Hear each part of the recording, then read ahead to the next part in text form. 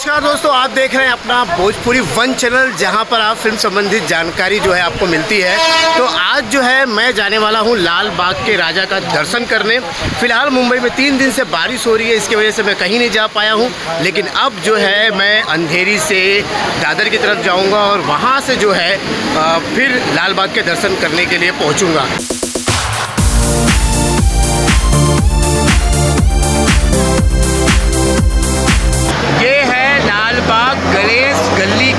गणपति की जो पंडाल है बहुत ही खूबसूरत है। अगर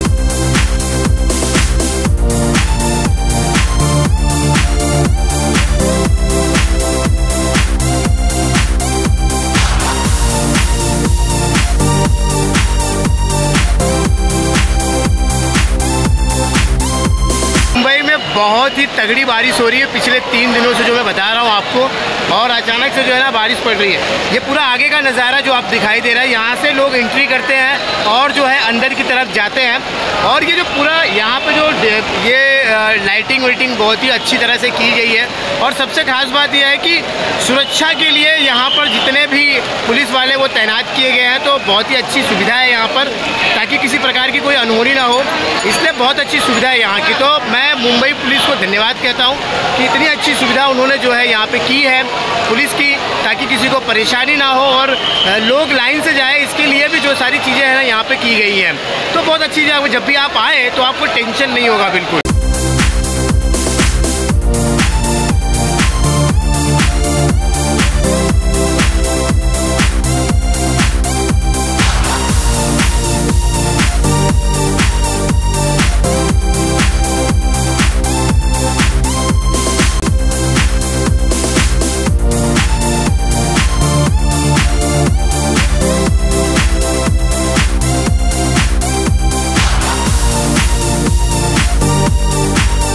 आ चुके हैं यहाँ पर और अभी मेरे ठीक सामने जो है वो गणेश जी की प्रतिमा है लाल बाग का।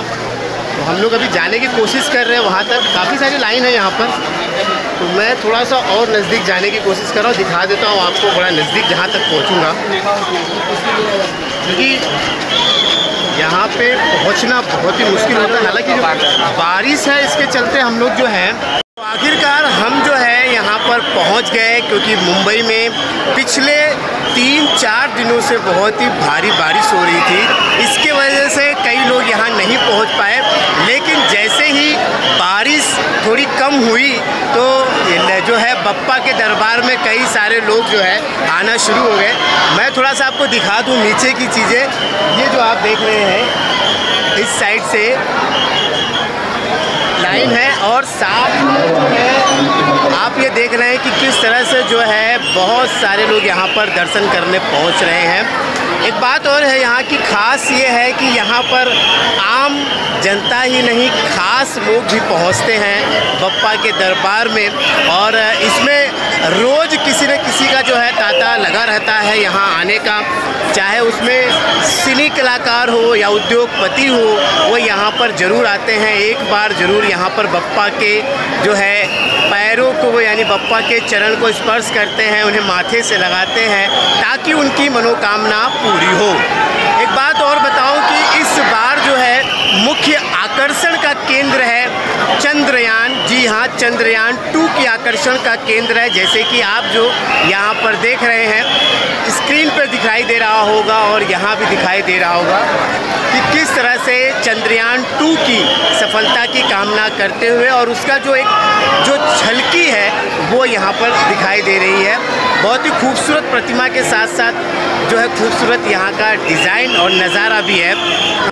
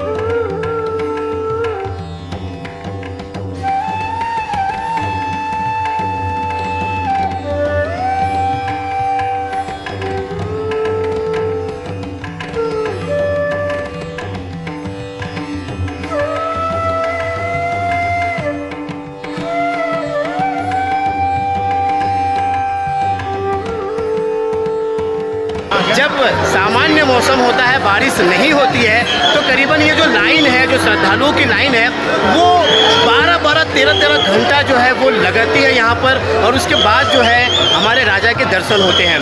तो ये इतिहास रहा है, और इसकी बहुत ही खास बात यह है कि जैसे कि मैंने आपको बताया है कि आम जनता ही नहीं बिजनेसमैन और कई सेलिब्रिटी जो है ना, वो यहाँ पर हमेशा आते रहते हैं और यहाँ पे दर्शन लेते हैं। यहाँ पर जो है, जैसे कि मैंने भी कुछ मांगा था और यहाँ पर वो मेरी भी मनोकामना पूरी हुई है, इसलिए मैं यहाँ पे आया हूँ। और जो है, खास बात है कि यहाँ पे मीडिया के लोग, बहुत सारे लोग यहाँ पे हैं यहाँ पे। और यहाँ पे देखिए, सबसे छोटी जो है, छोटी कैमरामैन दिखाना चाहता हूँ आपको। देखिए, छोटी कैमरामैन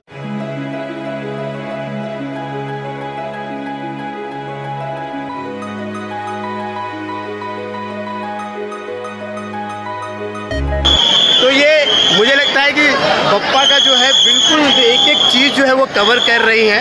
और सबसे छोटी है इस समय क्योंकि कैमरामैन के मैंने अब तक जितने देखा है, उसमें इतनी छोटी कैमरामैन नहीं देखा है। तो सबसे छोटी कैमरामैन यहाँ की लाल बाग की अब तक की जाने वाली ये है। मैं नाम पूछ लेता हूँ तो भूल जाएँगे हम लोग। नाम क्या बेटा आपका हाँ ये अनन्या है जो कैमरा चला रही थी यहाँ पर अनन्या को मैंने दिखाया आपको और भविष्य में मुझे लगता है कि बहुत अच्छी कैमरामैन बनेगी। पप्पा का आशीर्वाद इन पर हमेशा बना रहेगा। तो चलिए अभी तक के लिए इतना ही। मिलते हैं अगले वीडियो में। अगर वीडियो अच्छा लगा होगा तो ज़रूर लाइक देके जाइएगा और हो सके तो हमारे चैनल को सब्सक्राइब कीजिएगा। तो चलिए मिलते हैं अगले वीडियो में। तब तक के लिए बाय